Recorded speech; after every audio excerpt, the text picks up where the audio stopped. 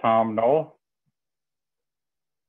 Our speaker today is Tom Noel, the Director of Quantum Computing at ColdQuanta. Tom currently leads ColdQuanta's effort to build a cold atom quantum computing system and is principal investigator on a ColdQuanta-led collaboration of industrial, academic, and national lab partners under the DARPA ONISQ program to demonstrate quantum advantage on real-world applications. He comes to ColdQuanta following a PhD in trapped ion quantum information from the University of Washington and a stint at Ball Aerospace, helping the Air Force make holes in things with lasers. All right. Thanks for the introduction, Matt. And uh, thanks everybody for joining. So today I'll be talking about uh, quantum computing and the role of entanglement uh, dwelling on some of uh, dwelling some on why uh, entanglement gives rise to strange and non-classical phenomena phenomena that are artistically rendered here in a painting by my thesis advisor uh, boris blinov thanks boris. Uh, then i will switch gears and i'll uh, discuss the cold atom approach to quantum computing briefly um, Mm, paying the closest attention to one particular Rydberg blockade based implementation of an entangling gate protocol. Um, and then follow that with a general discussion of errors that arise in uh, gate implementations based on Rydberg interactions and a surface view of, of how to avoid or, or mitigate those errors uh, through, through system engineering and system design. So quantum computing, what uh, what is it? Uh, quantum computing is computing where the information is encoded in physical objects uh, that manifestly obey the laws of quantum physics. So whereas in classical computing, we encode information in the classical bit, a two-state object that obeys uh, deterministic classical physical law, uh, zero, one, on, off. Um, in quantum computing, we employ a quantum bit or qubit, uh, where this uh, element is still a two state object, uh, but now is obeying uh, quantum physics. And one of the upshots of the qubit obeying quantum mechanics is that its state is now described by a pair of amplitudes. And this is commonly visualized as a, as a vector on a unit sphere um, shown in the lower right, where the, the pure uh, zero qubit state resides at the North Pole and the pure one state resides at the South Pole. And between those, uh, those extremes, there's a continuous range of, of superposition states. So what, what, uh, what is this kind of expansion of the, uh, of the capability of the information encoding unit um, do for us? Uh, it enables a, a, whole slew of, of new quantum algorithms that have the potential for polynomial and super polynomial speedups of uh, uh, compared to classical approaches in uh, across a wide variety of, of application areas um, and use cases. Um, some of those uh, some of those application spaces know, range from uh, the well-known Shor's factoring algorithm uh, to unstructured search, quantum chemistry, uh, finding uh, chemistry, chemical ground states, uh, quantum simulation. And one of the, the uh, application spaces that uh, may find the um, quantum advantage in the relatively near term is uh, the space of combinatorial optimization, which, which finds kind of sub-applications in, in, a, in a variety of fields. And, and I think a, a really exciting prospect given the the nascent nature of of the field of quantum computing is that there will almost certainly be many more uh, as yet undiscovered algorithms, applications, and use cases uh, that'll be uncovered as we uh, achieve a tighter feedback loop between algorithm development and deployment on systems of meaningful size um, and capability as as those start to emerge. I, I don't imagine that uh, when the Enigma machine was invented that they were anticipating uh, cat GIFs. But um, it'll be very exciting to see what the quantum cat GIF is. So why, uh, why then? What what what is it about quantum mechanics that makes uh, that gives quantum computers, at least in some cases, uh, this this kind of advantage, this power over over classical approaches. And um, before waving my hands at um, a couple of possible answers to that question, I'll admit that this this really remains an open topic of research without kind of fully definite answers. But a, common uh, answer is to to look to uh, superposition. Superposition, as I alluded to before, is the name that we give to the capacity of uh, quantum states to be spread out over multiple uh, computational basis states. And it's this feature that makes um, Hilbert space uh, such a big place, uh, to paraphrase the, the oft quoted Carlton Caves, where the, uh, the actual statement from the, the paper cited in the lower left is uh, Hilbert space is gratuitously big, which, uh, which I think is even more evocative, but um, I, I guess it lacks the rhyme. Uh, so, so in a, in a classical computer, the, the state of n classical bits is, of course, fully described by um, n bits. Uh, three bit state needs needs to be described by by three bits, um, three zeros and ones. But the full description of a, of a state of n qubits requires um, a, a, much larger state space to be described. It, it requires two to the n amplitudes. So a, a three qubit state, um, as shown on the right, uh, needs to be described by eight amplitudes. And uh, so this, this leads to of this hand waving basis for the exponential power of quantum computing. An n qubit quantum computer has a state space of size two to the n. It's, it's enormous. Um, but the, the benefit of this enormous state space is indirect because when we measure a quantum system, it collapses to just one of those two to the n states uh, each time we measure in, in a probabilistic way. And so we, we uh, we only get n bits of information out kind of each time we we prepare and measure such a state. So it sounds like you know maybe that's not quite enough. Uh, so the the this is typically coupled then with uh, with a second feature of of quantum computing, which is which is called entanglement, um, and that's one of the focuses of of uh, the talk today. Uh, entanglement is is uh, a phenomenon where uh, multi-body quantum states can be can be non-separable. There's there's uh, extremely strong correlations between the states of of uh, distinct uh, quantum objects, um, and this leads to this apparent non-locality that uh, that Einstein famously objected to, where these correlations persist even when the constituents are are spatially distant. And uh, so what I have up on the upper right is is one of uh, the Bell states, one of the the maximally entangled states, um, and it has the the features that I've I've bulleted here. When we measure uh, just object A, we find it to be in in either of the qubit states with equal probability.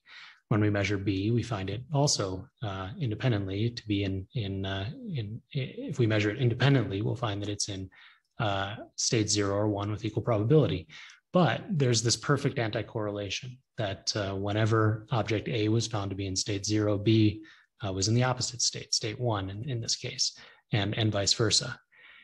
And uh, so the question I'll pose to the audience is, is this kind of already surprising, these, these three bullets, this combination of, of, uh, of kind of complete uncertainty in the individual states, but perfect correlation between the states?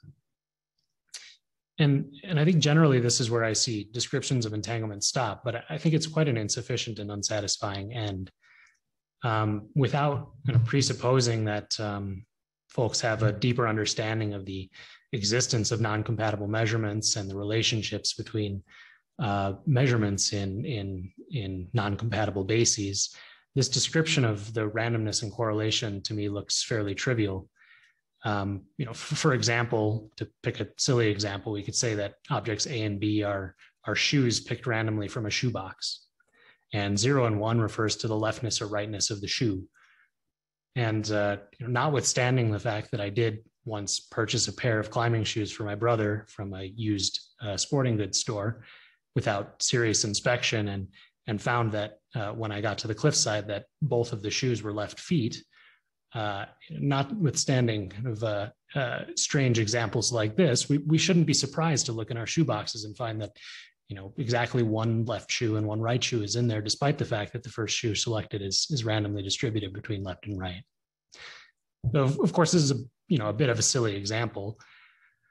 Uh, and for those initiated in quantum mechanics, the the non-correspondence with the state vector um, that's on the on the slide is is obvious, but um, to the for, for the the non-quantum initiates in the audience, I thought it would be fun to look at a, a, thought experiment that gets a little bit closer to the heart of the weirdness of entanglement, and um, hopefully it will be entertaining for the for the quantum sophisticates in the audience as well.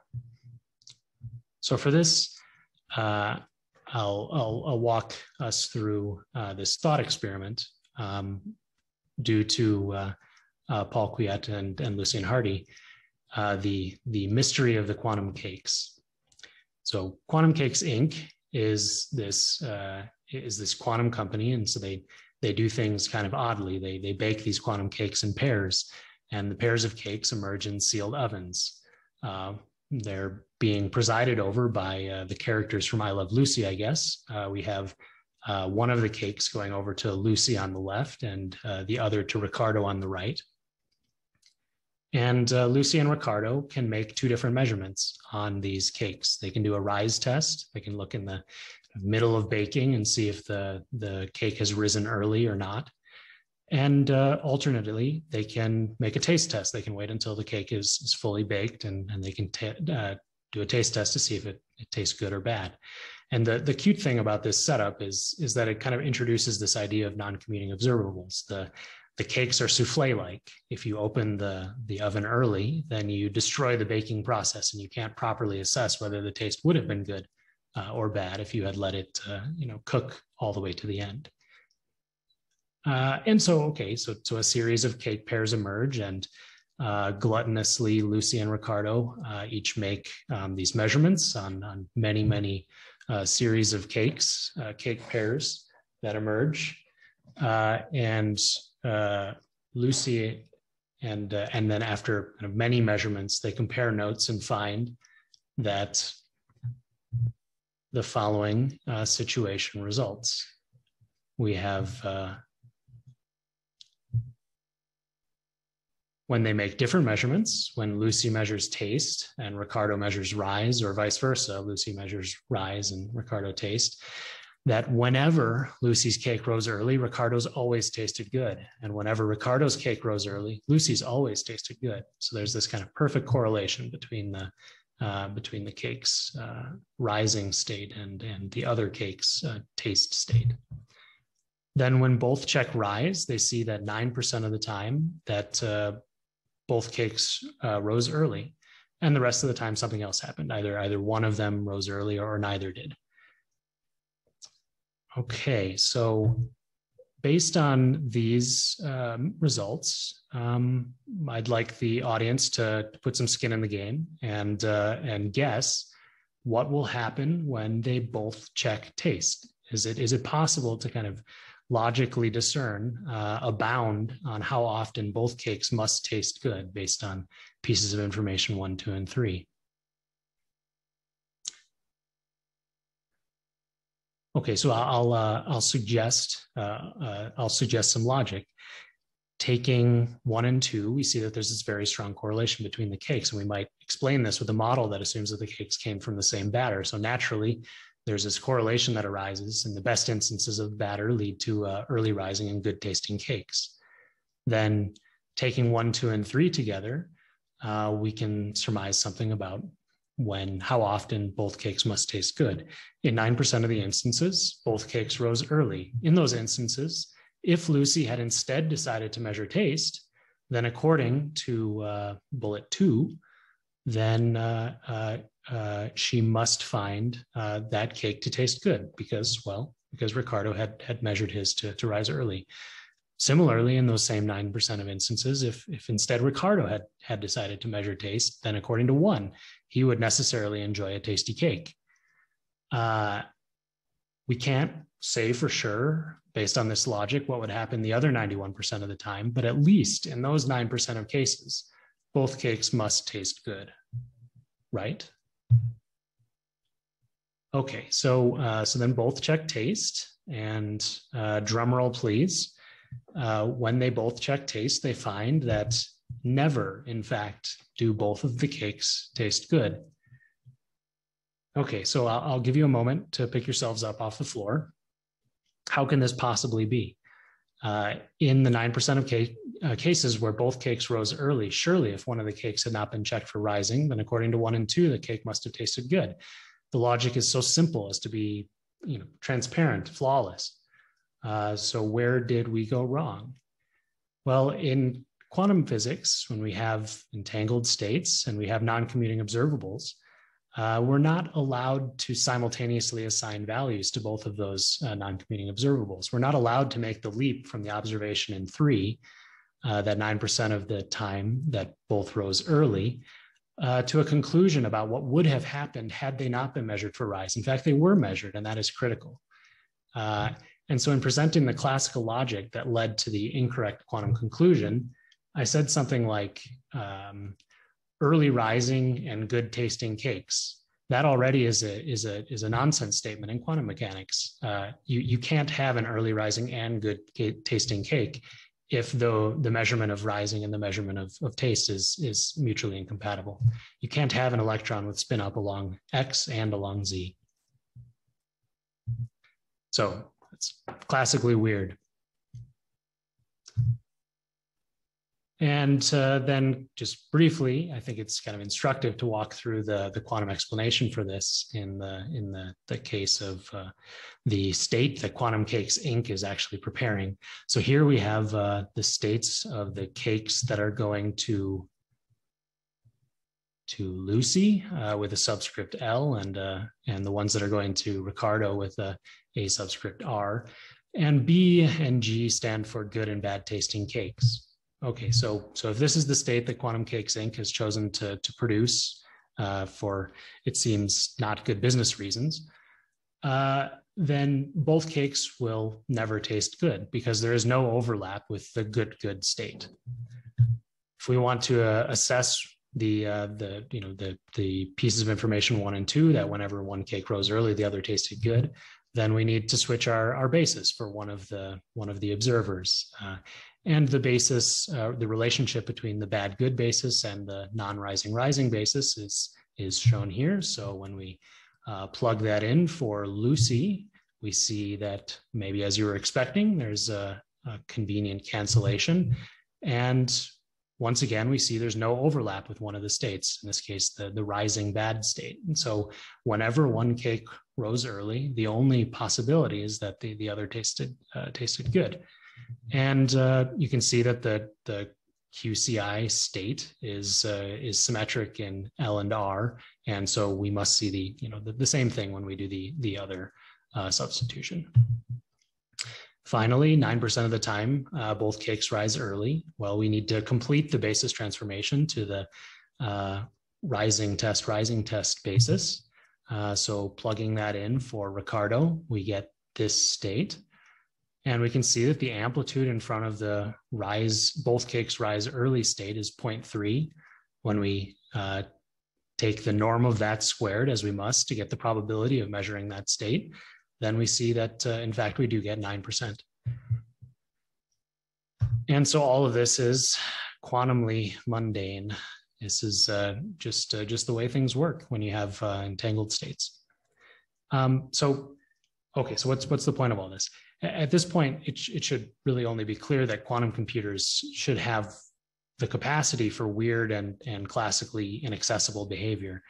And maybe this motivates the idea that uh, that they should be able to do something useful that classical computers can't. It certainly doesn't prove it.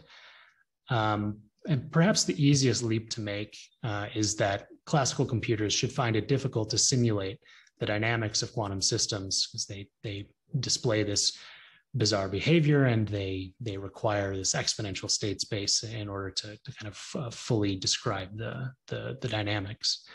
But quantum computers should find such simulation natural. And uh, and more generally um, by virtue of encoding the information into quantum states we're able to prepare and interfere and and uh, evolve uh, these entangled multi-body states. And this allows the quantum computer to access classically inaccessible information. The magic of quantum algorithms is to uh, use entanglement in a clever way and other quantum properties uh, to allow some kind of glimpse at that exponential size of Hilbert space to persist through the reduction to uh, to just n bits of information out that that um, that's implied by by measurement. Okay, so uh, so then how kind of in, in practice, kind of operationally, how do how do quantum computations work? Um, I'm going to focus here on the gate model um, approach um, using an arbitrary circuit that I whipped up using uh, the, the very nice tools that um, IBM Quantum Lab supplies. And uh, so this, this uh, circuit consists of uh, three main parts. There's preparation of an initial state in the, in the computational basis, so all zeros here. Then we apply some sequence of, uh, of gates uh, to, the, to, to the qubits in the register. And finally, we measure in the computational basis. And when we do that measurement after preparing some, some uh, complicated multi-body entangled state through all of these uh, uh, sequence of gates, we'll see that we get um, some measurement results out. The measurement results look like, uh, look, look like this histogram uh, where we have the probabilities that we find um, these, these different uh, bit string outcomes.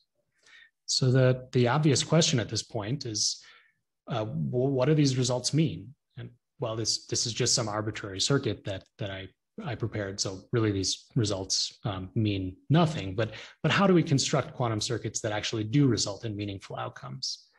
Where the, the outcomes can give us um, answers and, and insights um, that we we can't access with uh, with classical tools. And uh, this is uh, certainly an excellent topic, uh, but it's an excellent topic that I will not cover today. Uh, instead, I'm going to now narrow the focus to just one physical implementation, uh, qubits based on cold atoms, and and and entangling gates based on state-dependent um, Rydberg interactions between cold atoms.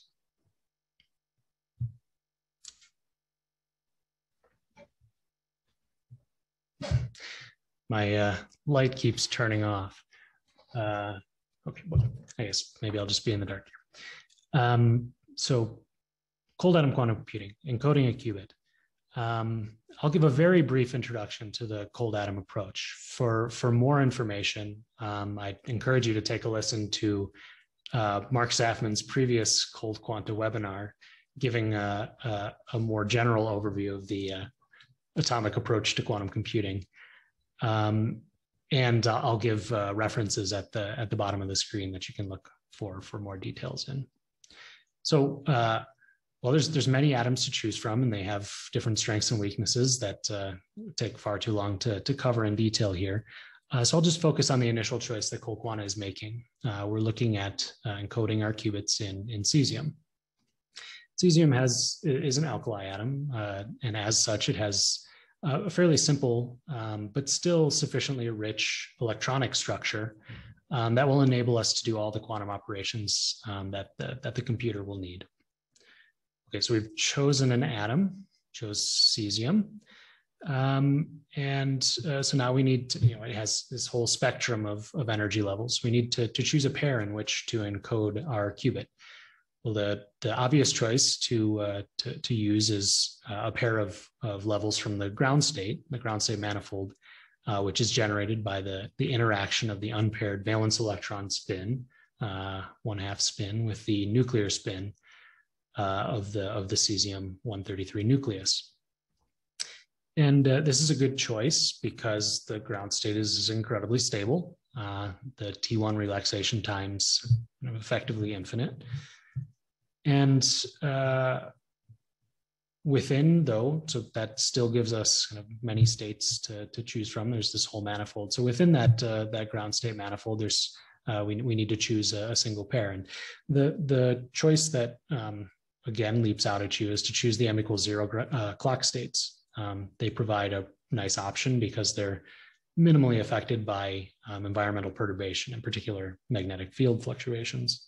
And so this leads to, to long T2 times of uh, many milliseconds without um, without really trying too hard, and, and well above a second has been demonstrated as the, the state of the art. The, uh, the energy splitting between the clock states uh, shown on the screen here is this nine gigahertz number is uh, listed as being with the, with the label exact. And this is actually because the, this particular pair of clock states uh, define what, uh, what we currently mean by one second. Uh, it's precisely the time that it takes uh, a cesium uh, a cesium atom to go through that number of, of oscillations of its of its hyperfine splitting. But in order to do uh, kind of all of the, the different um, uh, operations that the quantum computer needs to do uh, in order to satisfy all the DiVincenzo criteria, we need to access um, other atomic energy levels to do the other operations that the quantum computer needs. Um, the figure on the left shows kind of the full spectrum of cesium, and, and the cartoon on the right is highlights the the levels that we'll actually be using, uh, along with the operations that they're that they're involved in and I'll walk through this, uh, uh, operation by operation by using uh, that, uh, that arbitrary quantum circuit that I showed earlier. So for state preparation, uh, preparing all the all of the uh, the atomic qubits in the zero state, we use a technique called optical pumping, using global illumination of the register with a laser that's has a particular polarization and is resonant with um, with one of the D1 transitions at, at 894 nanometers. The next uh, operation in this circuit is uh, happens to be uh, the same single qubit operation across all of the qubits. And so for, for this, we actually have a, a nice uh, capability in, in the cold atom uh, approach where we can apply a uniform resonant microwave field with all of the uh, with all of the qubits and and make them undergo arbitrary global single qubit operations. Next up, uh, we have uh, local single qubit rotations, and these can be done in uh, in a variety of ways. Um, uh, using uh, global microwaves coupled with uh, local differential Stark shifts um, that make the, you know, the, that adjust the qubit frequency in a controllable way, uh, or with local Raman excitation that can drive rotations on, on single qubits uh, directly with tightly focused um, uh, local Raman excitation. entangling gates, which will be the, the subject of the remainder of the talk, we have um, not actually the the operation that is that is shown on the uh, in the circuit, which that that symbol corresponds to a controlled NOT gate. Instead, we have a controlled phase gate um, that we drive using uh, Rydberg excitation in a way that I'll discuss. Um, and the the controlled phase uh, operation can be turned into a controlled NOT operation with just uh, a couple of single photon, uh, sorry, a couple of single qubit um, uh, state rotations. And uh, this will point out that the local arbitrary single qubit rotations coupled with this controlled phase gate gives us a universal gate set that we can uh, decompose any arbitrary uh, circuit um, into. And finally, we have state readout, uh, where the computational state uh, is mapped onto a fluorescence state, and the fluorescence is measured. Uh, the fluorescence of all of the atoms in the rays is simultaneously measured by, by taking a, uh, a picture under under um, under excitation. Okay, so before getting to the cold atom CZ implementation, I think we need to do a quick primer on Rydberg atoms. To implement multi-qubit gates in any architecture, you need to have a, a state-dependent um, interaction between uh, qubits. And in the ground state where our qubit is encoded, um, even extremely nearby interaction atoms really don't interact. There's there's negligible interactions, which is actually a nice feature. Um, when they're just idling in the in the ground state, um, they they remain very coherent because there's there's no interactions. And so this is where the use of Rydberg states comes in. Uh, Rydberg states are are highly excited states. Um, they're states with very large uh, principal quantum number n and uh, these highly excited states of the valence electron uh, have very large uh, valence electron orbits, um, and that results in a very large dipole moment. And large dipole moments uh, give rise to, to large uh, van der Waals interactions. And so this uh, results in a, in a phenomenon that's referred to as Rydberg blockade. If we have um, two Rydberg atoms uh, adjacent to each other in the in the absence at least of a polarizing electric field will have a van der Waals interaction. And so that the interaction will uh, decay like like pr pretty fairly rapidly with uh, with the separation between the atoms um, like r to the sixth where where r is, is again that that distance between the the adjacent atoms and so if the atoms are sufficiently separated, then the, the interaction will be weak. And when we try to excite uh, the, those distant atoms uh, to a Rydberg state uh, simultaneously, we, we can, can, uh, can succeed. We can get that double excitation.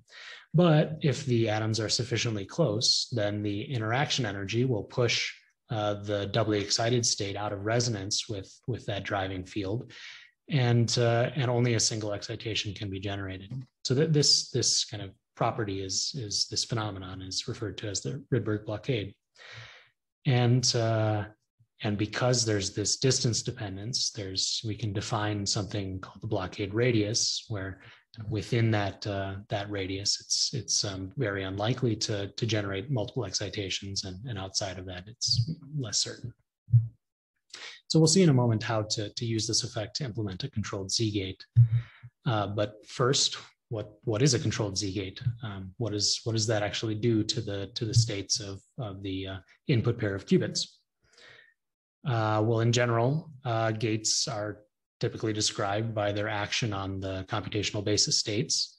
And so for the CZ, this has um, the truth table that's shown here. Uh, three of the two qubit input states are unchanged. And the final state has its phase flipped. So equivalently, you can look at this in a matrix rep representation where the action of the matrix will be on a, a column vector of the computational basis states um, in this same standard ordering shown in the truth table.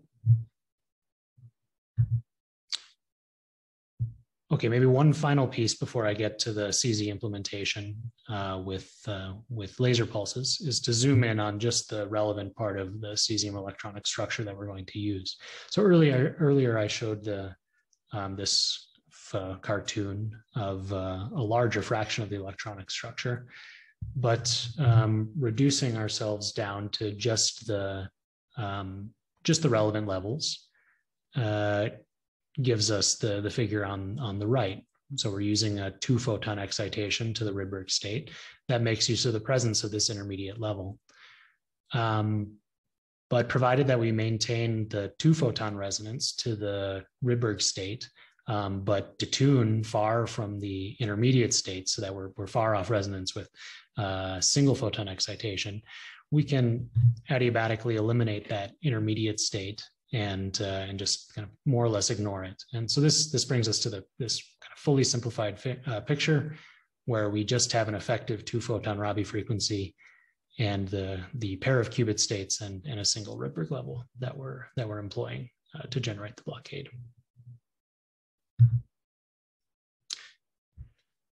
Okay, so finally, now we get to uh, one way of implementing an entangling gate um, using Rydberg blockade there are uh, a whole slew of protocols um, for for generating entanglement using uh, Rydberg either interactions or blockade. Um, but I, think this is a relatively simple one, so we'll, we'll focus on it here, and then and then we'll take a look at uh, more generally what what in in the more general space of gate protocols what uh, what errors can crop up. Okay, so in this protocol, uh, we have a sequence of three pulses. We have a Rydberg excitation, pi pulse on the control, uh, then a, a two pi pulse on the target atom, and finally we de-excite the control atom with a, a, a de-exciting pi pulse, um, again on, on the control atom. Okay, so why does this make a controlled Z-like uh, gate? Let's look at the uh, results of this on, uh, on all of the different computational basis states. Okay, so for the zero zero state, um, all of these pulses are off resonant. They're all resonant with the one computational basis state. Uh, and so everything's off resonant, nothing happens. Uh, the um, uh, and so we we you know put zero zero in and we get zero zero out. What happens to zero one? Okay, well now something slightly strange happens. Uh, the control atom pulses are are uh, are off resonant, and so nothing happens there. But the target atom pulse uh, is resonant, and so the target atom traverses a path through Hilbert space that takes it up through the uh, through the Rydberg state um, and back down. And to those familiar with quantum, you won't be surprised to see that uh, after such a kind of rotation through Hilbert space, a, a minus sign crops up. And this, I think, is not a terribly intuitive result. Uh, comes from the fact that uh, SU2 is a double cover of SO3, but perhaps just take it on faith or, or solve the Schrodinger equation and, and see for yourself. Um, but uh, it, it, it does present an important lesson uh, for dancing in Hilbert space. If you don't want to turn into your evil twin, you should always spin an even number of times. So remember that. Okay, but anyway, so we get a minus sign. Uh, and for exactly the same reasons, when we uh, put in uh, state one, zero, uh, we will also get a minus sign because the control atom in this case has traversed the path uh, up and back down from the Rydberg state. So we get this minus sign. But uh, the, the target atom, the pulse is off resonant, so nothing happens there, just a single minus sign. And finally, when we send in uh, state 1, 1, we get uh, this, this blockade effect. for the control, we get a Rydberg excitation then we attempt to excite the target, but now the Rydberg blockade has pushed the, the doubly excited state out of resonance with that 2 pi pulse. So when we attempt that 2 pi pulse, nothing happens.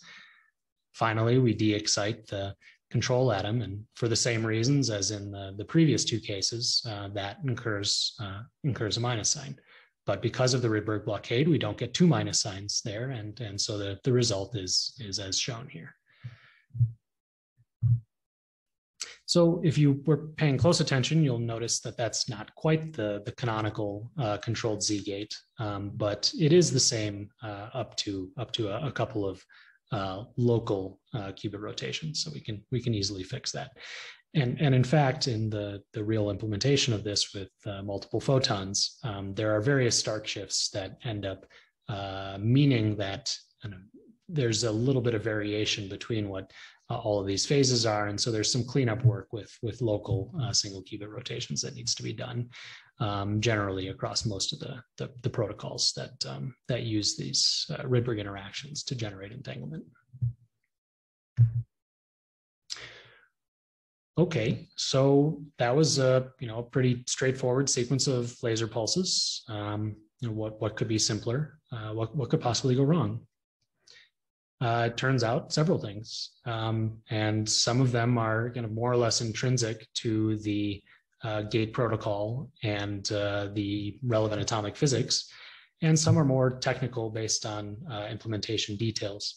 So first for some of the intrinsic stuff, uh, there will be a non-zero probability that we doubly excite uh, despite the the uh, the Rydberg blockade. There's you know some some probability for off resonant excitation to that doubly excited state. This can be made extremely small given sufficient interaction strength. Uh, next, the Rydberg state is, well, it is an, an excited state. And uh, while its lifetime is relatively long, uh, depending on the environment and the Rydberg state used, uh, there will still be some small probability for radiative decay. And so to mitigate this, one wants to operate kind of as, as quickly as possible, wants to go to high, but not too high Rydberg states, and, and uh, maybe ultimately wants to go to cryogenic operation. So these two uh, intrinsic errors push the operation, you might notice, in different directions. Blockade leakage wants us to operate more slowly so that we have a less uh, probability for off-resonant excitation uh, with, with smaller Rabi frequency. Uh, and Rydberg radiative decay uh, wants us to, to operate as, as fast as possible um, in order to, to avoid spending any time in the, in the Rydberg state and, and giving time for decay. So fortunately, uh, you know, despite the fact that there is this, this, uh, this balance between these effects, um, that implies the maximum achievable uh, gate fidelity uh, across the kind of whole space of, of these um, gate protocols. In principle, for a wide variety actually now of, of described gate protocols, uh, the, the theoretical maximum uh, fidelity that's achievable uh, due to these, these noise sources is, is kind of well above the four nines level. Okay, third thing, not quite intrinsic, but still, you know, really uh, purely atomic physics. Um, at a finite detuning from the from the intermediate state, uh, the population in that intermediate state that we kind of adiabatically eliminated uh, before won't be exactly zero, but there, there will be some population there. And uh, in recent gate demonstrations, even with kind of relatively low Rydberg powers, um, we've seen that this this uh, this effect contributes to an error budget at, at kind of less than the the the at roughly the the minus three level, ten to minus three level. But uh, given reasonable improvements in laser power, this can can also be uh, suppressed strongly. Okay, so so now for the contributions to the error budget that I'm terming uh, practical or technical. These these sources are avoidable uh, given pristine control over the, the atom environment, the atom motional state, um, and uh, extremely high quality um, uh, laser sources. Uh, first up are a pair of contributions that are due to the residual atom motion. Um, so we take great care uh, to uh, reduce atom temperature to just a few millionths of a degree above absolute zero. But you know, even at this uh, this super low uh, ultra cold temperature, um, there is still uh, a small amount of residual atom motion at the kind of few uh, centimeter per second level. And so over the course of the microsecond or so that it takes to, to, to maybe do one of these gate protocols, uh, that corresponds to a distance traveled of, of a few tenths of, of nanometers, which is small, but a non-negligible fraction of the of the wavelength of the uh, the effective wavelength at least of the uh, two photon, photon excitation field. And so, given that the the velocity is essentially a random variable, this this can lead to to dephasing. Uh, a second contribution uh, from that same positional variation uh, comes from the the variation of the position within these these tightly focused individual addressing um, uh, excitation beams. And both of these effects can be mitigated by going to, to colder atoms. This is what motivates uh, motivates um, some folks in the field to uh, to uh, look at uh, sideband cooling to uh, to to near full ground state um, occupation of the of the traps that the atoms reside in um, or go to more more exotic atomic species like strontium, where you can do uh, narrow band cooling that um, that approaches ground state, um, uh, a large fraction of ground state population.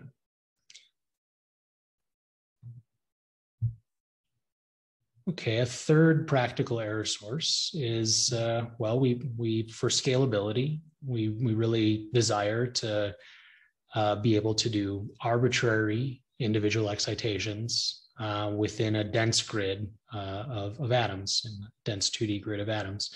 And so this, this leads to really stringent uh, demands on the optical design in order to achieve really tight focus um, with minimal aberration uh, all across the, the full field of, of, the, of the atom array. So this, this implies, you know, we, we need to use very tightly focused excitation beams uh, and careful optical design.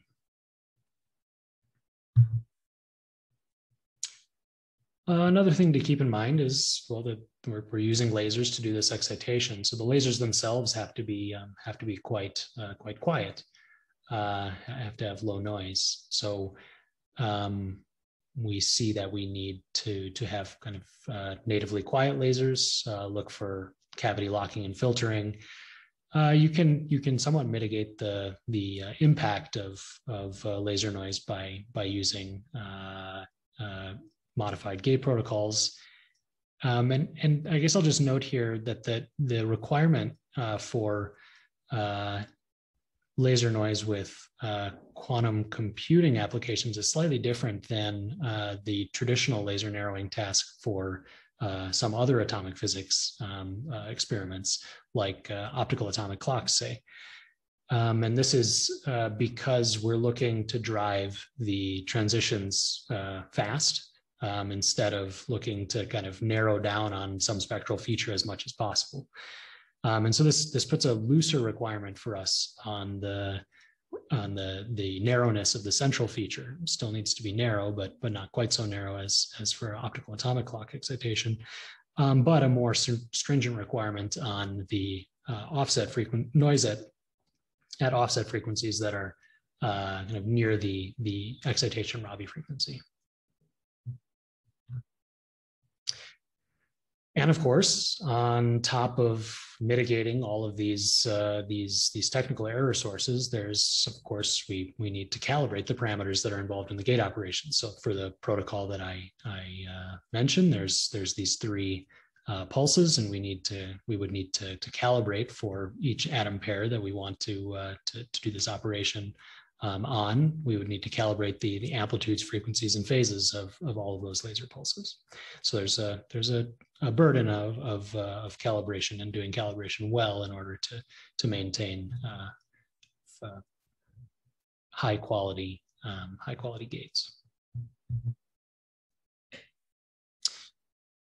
Okay, so this this brings me uh, kind of to the to to the summary uh, and uh, the outlook um, that I see for for uh, for cold atom quantum computing.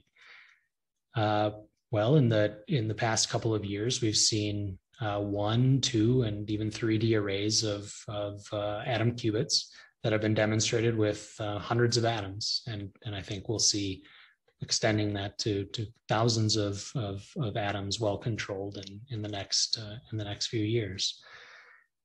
The uh, one of the nice features that I kind of alluded to but didn't highlight earlier uh, is that the Rydberg interaction uh, has you know has this finite range. And uh, this range uh, that blockade radius uh, that I was talking about can have have a size that's you know, maybe 10 or even tens of microns depending on the Rydberg state that's that's being used. And uh, if you're operating in a in a dense 2D array, those relatively long range interactions um, can can span a, a, large fraction of of a, uh, of a, uh, of that 2D array, uh, giving you a, a, a long range interaction and, and, relatively high connectivity. Um, the prospect for uh, demonstrating very uh, compelling gate fidelities uh, even in these these kind of scalable architectures is is really motivated well by some results that have come out in the, the last couple of years showing uh, you know, 99 plus percent uh, gate fidelity, albeit in uh, in a system that is uh, um, a, a, a kind of odd qubit uh, in strontium with uh, with one of the one of the qubit states actually being the excited Rydberg level. But still this shows kind of the the motivates the capability of the architecture to reach these these very high gate fidelities um, given near ground state cooling and and given um, given uh, detailed optical design and and uh, and um, doing everything very well.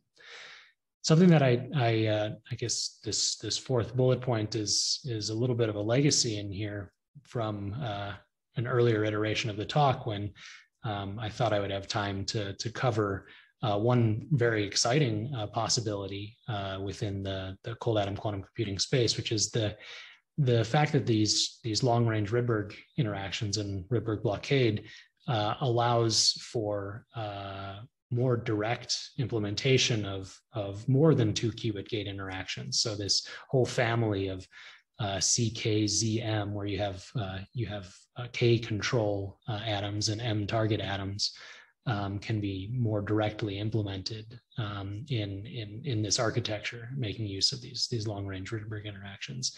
And I think that's a that's an incredibly exciting direction. Um, and there's been some some first proof of concept um, results on on implementing uh, low order versions of of those gates. So that'll be something to keep an eye on. and uh, finally, I think that the you know the next major step for for us and for the field is is demonstrating high fidelity entangling gates uh, in a in a truly scalable universal architecture. Uh, so dense 2D arrays, individual addressing um, in in in an arbitrary way, um, and I think that'll be a, that's the that's the challenge for um, that we're that we're putting for ourselves.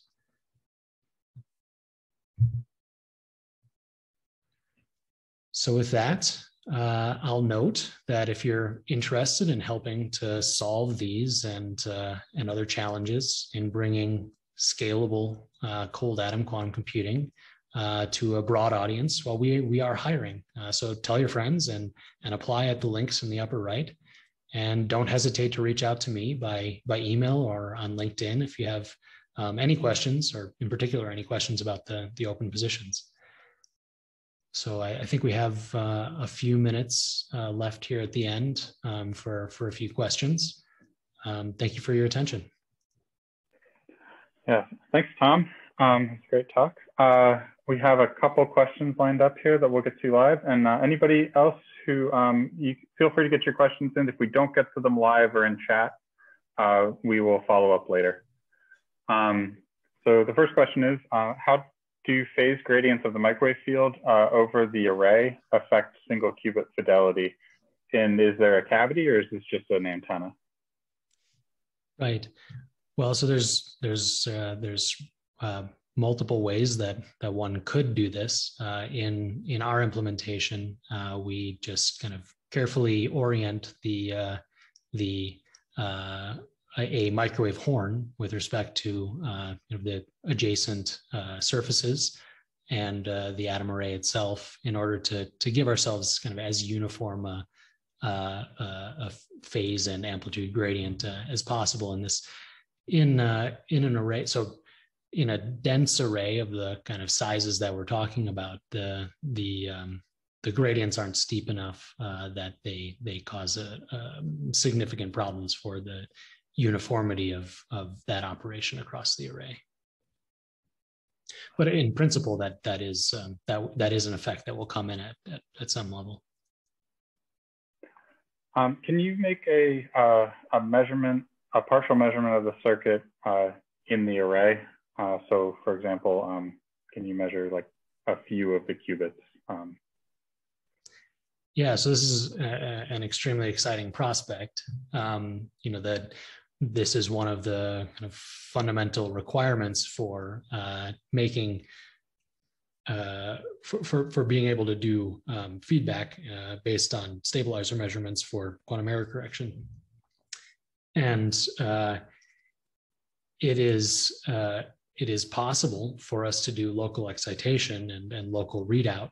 Uh, but if all of the atoms are kind of in in a in the are if all of the atoms are of the same type and are are in the same ground state, then it's it's uh, likely that at the kinds of spacings that we're talking about in in this uh, architecture, that uh, the local excitation, the the kind of four pi scattering based on that local excitation, uh, will end up uh, decohering the information in, in adjacent uh, in adjacent atoms, and so that's that that looks like a challenge. we have various ideas for how to uh, how to meet that challenge. Um, and one of the ones that our, our, uh, chief scientist for quantum information, uh, Mark Saffman, has has published on is is this idea of uh, of using multiple atomic species. So you can read out the subset that corresponds to uh, one atomic species while the uh, while the, the, keeping the, the quantum information intact in, in the other species. Uh, so this looks like you know one one potential answer, but I, I, don't think by any means it's the only one. This will be uh, an exciting challenge to to tackle in the future. Good, that's a really good question. Thank you. Uh, how could you make a million qubit quantum computer based on Rydberg interactions? Very good. So it's a little bit unclear what the what the kind of ultimate upper limit uh, for a single uh, array in uh, in a single vacuum system actually is going to end up being. Looks like if you want to go to, to tens of thousands of qubits or above, you probably need to address uh, uh, loss mechanisms by uh, going to maybe a cryogenic environment. Uh, so that that that could be a piece of of the answer. Um, and going to uh, kind of more sophisticated uh, uh, capabilities for how the arrays are actually populated um, initially and and how they're maintained. Um, so we have we have some ideas about this that we're exploring through uh, through our our DARPA ONISQ project um, on loading uh, from a remote reservoir. Uh, that that could be another piece of of the answer to that question. And then ultimately, you know, there's there's you know I think there's a, a very reasonable prospect of of getting to the thousands, tens of thousands of qubits um, in in a single vacuum system. And after that, we can make use of the the uh, a similar uh, approach as is being uh, suggested by um, by uh, IonQ, where they have photonic interconnects proposed between between remote registers um, that are that are in in, in separate remote vacuum systems.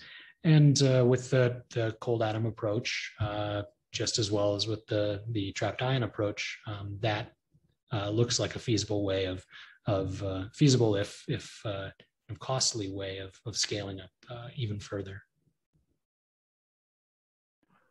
Um, one quick uh, question, I think, before we end. Um, if is should I think of the um, each atom as being equivalent to one qubit? Yes. Uh, yes. So um, that that's that's the way that we've encoded things. Is a single atom is a is a single qubit. Uh, of course, there are all of these other states, and so there's there's uh, kind of more exotic uh, implementations of cold atom quantum computing that one can imagine making use of the the the other states to uh, to uh, expand the state space um, that that is that is available to each information carrier um, going to a qudit kind of architecture instead of a, qubit based um, approach. Uh, but I think that's a that's not really the the original the, the initial approach that ColdQuanta is taking. Instead, the, maybe I just should have said yes. Yeah, the answer is yes. Um, and uh, that, brings us to the end of our time. Um, thank you, Tom. Uh, great. And uh, thank you for everybody for your questions and uh, your attention. Um, we will get to any unanswered questions uh, uh, via email later. Um, the, this talk will be posted on YouTube. And um, thank you.